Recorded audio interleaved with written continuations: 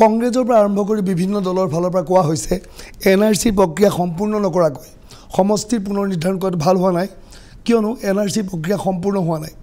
অনুৰূপ প্ৰশ্ন মুখ্যমন্ত্ৰী ডক্টৰ হিমন্ত বিশ্ব শৰ্মাক আমি দুদিন পূৰ্বে পডকাষ্ট অনুষ্ঠানত সুধিছিলোঁ যে এন আৰ চি সম্পূৰ্ণ নকৰাকৈ সমষ্টি পুনৰ নিৰ্ধাৰণ কিয় কৰা হৈছে। হিমন্ত বিশ্ব শৰ্মাৰ উত্তৰ আছিল এনেধৰণৰ।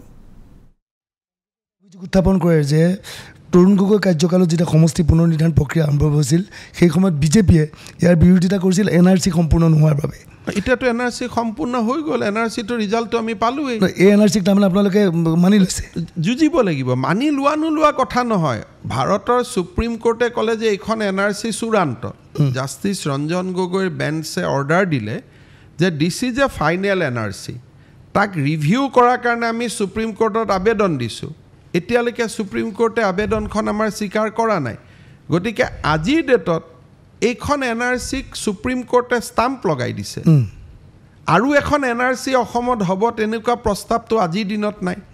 অৰ্থাৎ এই এন আৰ চিখনক আপোনালোকে গ্ৰহণ কৰিবলৈ বাধ্য হৈছে। মইতো গ্ৰহণ নাই কৰা কিন্তু ভাৰতৰ ছুপ্ৰিম কোৰ্টে যদি কয় এইখনেই চূড়ান্ত এন আৰ চি এতিয়া আপোনাৰ মোৰ তাত কি অধিকাৰ আছে? আমি আকৌ আবেদন নিবেদন কৰিছোঁ যে বৰ্ডাৰ এৰিয়াত আমাক টেন পাৰ্চেণ্ট ৰিভিজনৰ সুযোগ দিয়ক। আন জেগাত টুৱেণ্টি পাৰ্চেণ্টৰ ৰিভিজনৰ সুযোগ দিয়ক।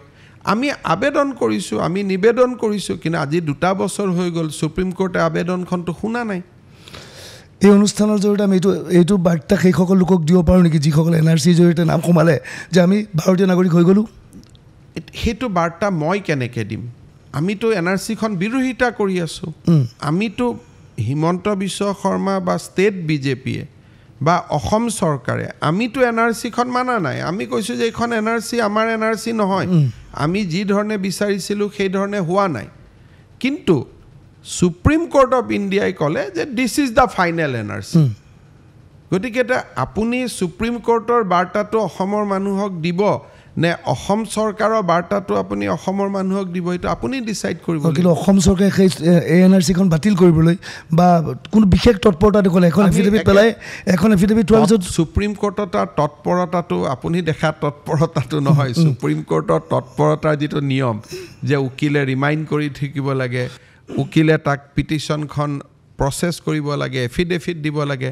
চ' আমাৰ উকিল সদা তৎপৰ হৈয়ে আছে। এতিয়া সদা তৎপৰ হৈ থোৱাৰ পিছত যদি দহ পাৰ্চেণ্ট ভেৰিফিকেশ্যনৰ প্ৰশ্নটো আহি যায় তেনেহ'লে এই সমষ্টি পুনৰ তাৰ নিৰ্ধাৰণ পৰা কি অসুবিধা হ'ব? কি অসুবিধা নহ'ব।